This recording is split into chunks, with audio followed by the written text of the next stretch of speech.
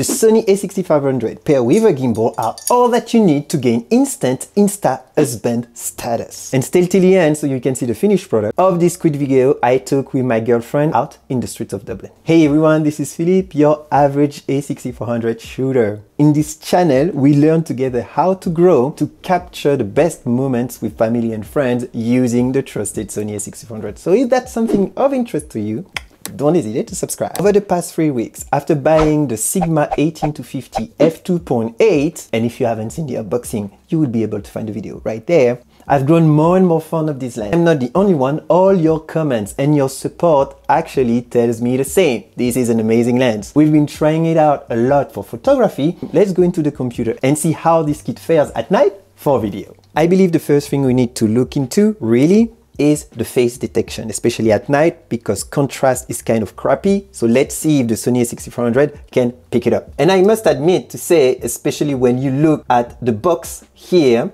is that yes, it does. And the face of my girlfriend is perfectly sharp with the blurry background. Pretty cool, right? Second, and here I take it in slow motion, is we see in detail when you zoom in, the lens will not ghost and will stay in focus even for those close-ups. Last but not least, and you will see that the gimbal uh, struggled a little bit. To be honest, I balanced it in the street with no support at all. Even as I was panning, and going around my girlfriend to focus on her shoe, we are perfectly sharp. And again, that perfect blurry background is just bokehlicious. Here you go, guys. If you're like me and you love capture those precious moments and put it really quickly on video, let me know in the comment where you would want to be able to use such kind of lens for travel, for a wedding, a party with friends, a birthday. You tell me, I really want to know. Without further ado, let's watch the full video.